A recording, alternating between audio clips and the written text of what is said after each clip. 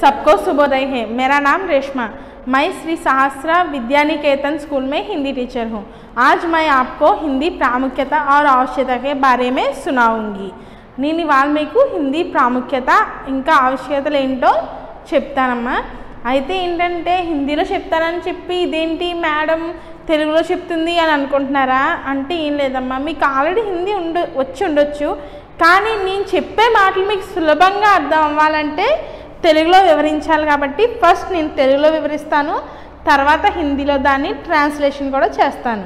సరేనా?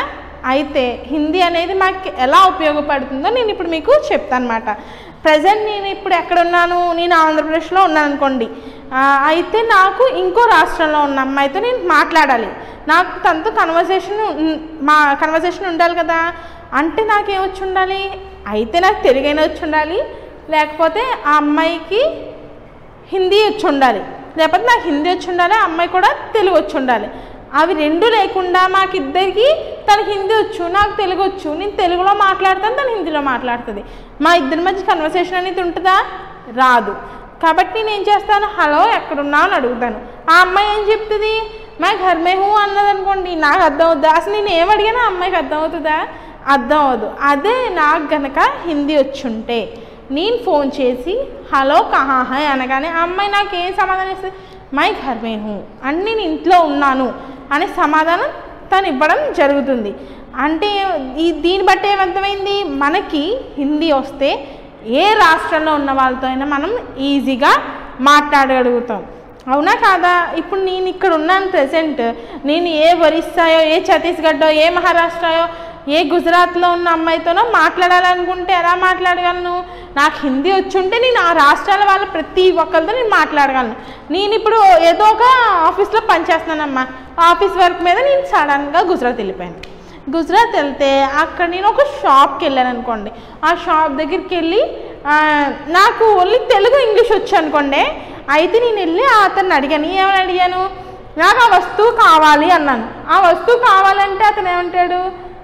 క్యాకెహరాయో అంటాడు. అంటే అతను చెప్పేది నాకు అర్థం నేను చెప్పేది అతనికి అర్థం పాపం. అయితే ఇతనికి నా తెలుగు రాదు అని చెప్పి నేను అనుకొని పోనీ నాకు ఇంగ్లీష్ వచ్చు. ఇంగ్లీష్లో అతను అడుగుతాను. ఐ వాంట్ ఇట్ అంటాను. ఐ వాంట్ ఇట్ అంటే మళ్ళీ ఈ అమ్మాయి ఇంగ్లీష్లో మాట్లాడితే నాకు ఇంగ్లీష్ రాదు కదా అని అతను అనుకుంటాడు. అదే ఒకవేళ నాకు గనక హిందీ వచ్చుంటే ముజే ఓ చాహియే అంటాను. అనగానే అతను ఏం చేస్తాడు? వెంటనే తీసి ఇచ్చేస్తాడు. అంటే ఏంటి? అతనికి హిందీ అనేది అర్థమయ్యింది. అంటే ఏంటి? ఇంగ్లీష్ తెలుగు అనేవి మనకు వచ్చిన ప్రతి రాష్ట్రం వాళ్ళకి అవి రావాలని లేదు. ప్రతి వ్యక్తికి అవి రావాలని కూడా లేదు.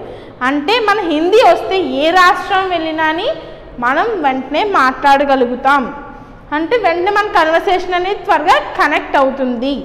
మనం హయ్యర్ స్టడీస్కి వెళ్ళే కొద్దీ మనకి మన రాష్ట్రం నుంచి కాకుండా వేరే రాష్ట్రాలకు వేస్తుంటారు. పూణే కలకత్తా అటు సైడ్ ఉన్నారనుకోండి అటు సైడ్ హిందీ మాట్లాడతారు కాబట్టి మీరు వెళ్ళిన వెంటనే మీకు హిందీ వచ్చుంటే వాళ్ళతో త్వరగా ఇంటరాక్ట్ అవుతారు అలాగే త్వరగా మాట్లాడగలుగుతారు కూడాని. అంతేకాదు ప్రస్తుతం మన రాష్ట్రంలో కూడాని హిందీ అనేది ఫస్ట్ లాంగ్వేజ్ అందరికి తెలుసు కదా ఇది? ఫస్ట్ లాంగ్వేజ్ అని తెలుసు కాబట్టి మన దేశ నాయకులు కానివ్వండి మన ప్రధానమంత్రి ఎవరో తెలుసా? తెలుసా తెలీదా? తెలిసే ఉంటుందండి. మన ప్రధానమంత్రి ఎవరు? ప్రధాని నరేంద్ర మోదీ. అయితే ఏంటి అతను ఎప్పుడు ఏం చేస్తుంటారు? హిందీలోనే మాట్లాడుతుంటారు. న్యూస్ చూస్తారా? చూస్తారా? చూడరా? చూసే ఉంటారు. ఎందుకు చూడరు? ఆ న్యూస్లో కూడా అతను ఏం చేస్తారు? ఎప్పుడు హిందీలోనే మాట్లాడడం అనేది జరుగుతుంది. అతను తెలుగు మాట్లాడడం కానీ ఇంకేం మాట్లాడడం కానీ మీరు చూస్తున్నారా?